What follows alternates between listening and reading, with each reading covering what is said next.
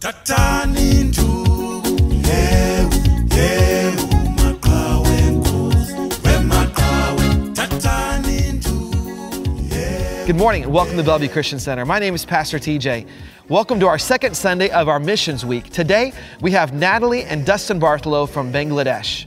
In just a few moments, they're going to be sharing with us about how God is changing lives all around the world. But first, here are a few ways you can get involved in the church and around our city.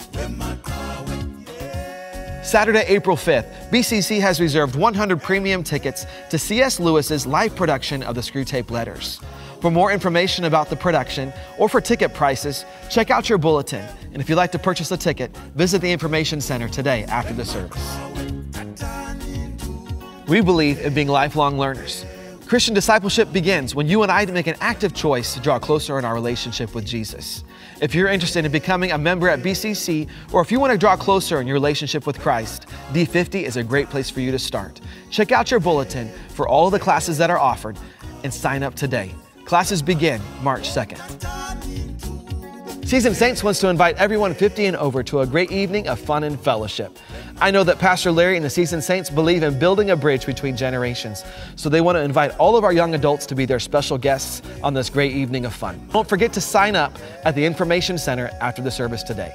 That's all of our announcements for today. For more events happening around Bellevue Christian Center, please visit the website at bellevuechristian.com.